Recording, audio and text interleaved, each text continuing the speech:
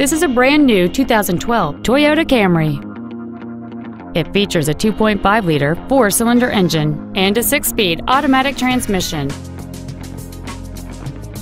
Features include traction control and stability control systems, a split folding rear seat, cruise control, a six speaker audio system, a four wheel independent suspension, a passenger side vanity mirror, an anti lock braking system, side impact airbags, a rear window defroster, and air conditioning.